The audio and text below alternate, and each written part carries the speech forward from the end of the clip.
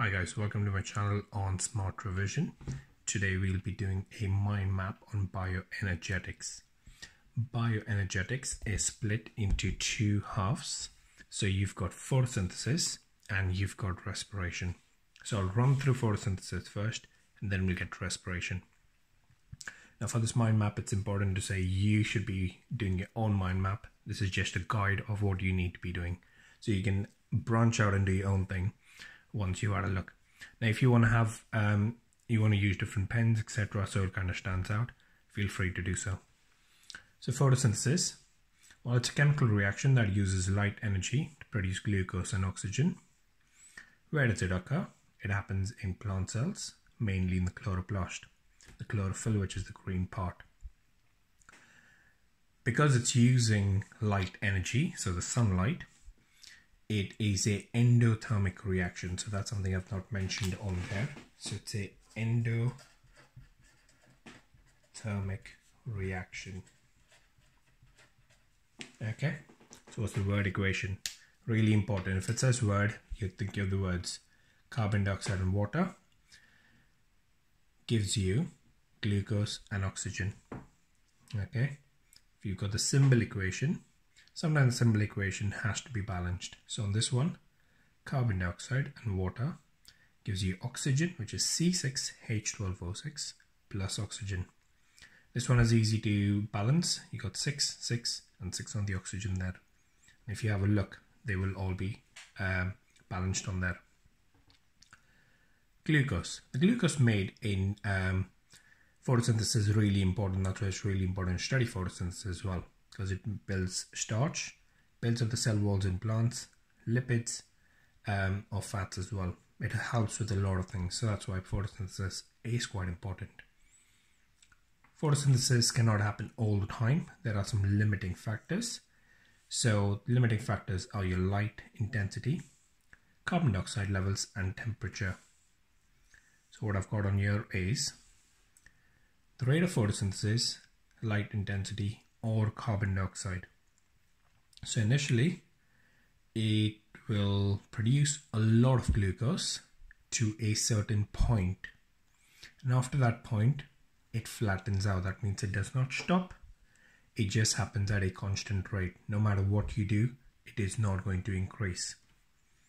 On the other hand, when you have temperature, if you give it a high temperature, it will increase and if it goes beyond a certain point then it's going to stop. Because the enzymes denature okay?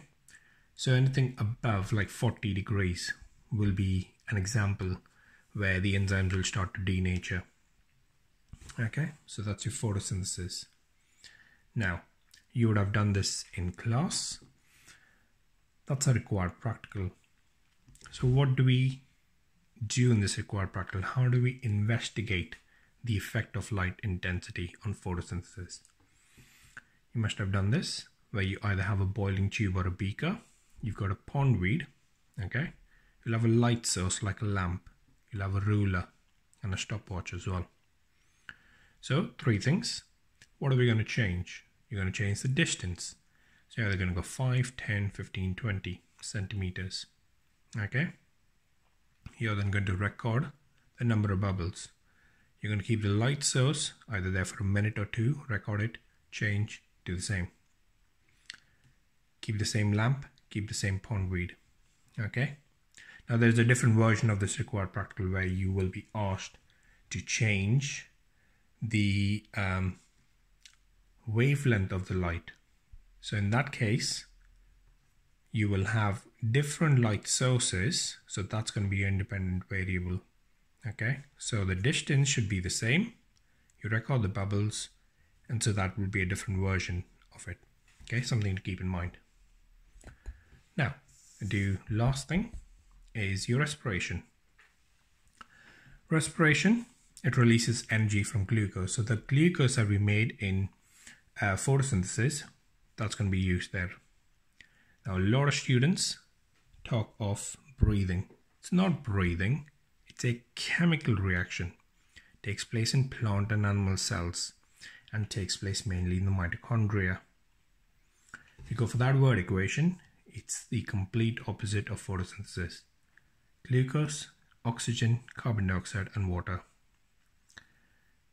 C6H12O6 plus oxygen, carbon dioxide and water. Now I'm not balanced but you can. What's this glucose used for? Well, it makes proteins, makes amino acids. Okay, and there's a few more, but I've not listed all of them.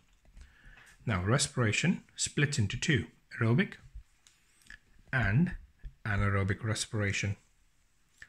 Aerobic, it uses oxygen. Anaerobic, lack of oxygen, so less oxygen. Now, in anaerobic, it produces lactic acid. So if you go for a run, then you start producing lactic acid because there's an oxygen debt. You can't get a lot of oxygen to the muscles. In that case, you've got two things that's going to happen, or three. Well, the amount of oxygen needs to increase, your heart rate increases, breathing rate increases because you need that increased oxygen level. In plant cells or in bacteria, it produces ethanol. So that's where fermentation and biogas are two other applications. Okay. Hopefully this was helpful for you to create your own mind map. If you found this helpful, thumbs up. Thank you.